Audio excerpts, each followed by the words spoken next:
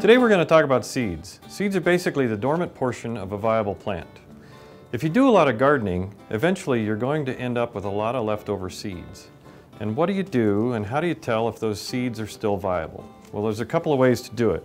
The first of those is called a float method. And if you have something large like peas, you can actually drop them into some water. And if they float, those seeds are no longer viable. They're too dry to germinate. If they sink, they're probably viable and you can plant them in your garden. The other method is to take a paper towel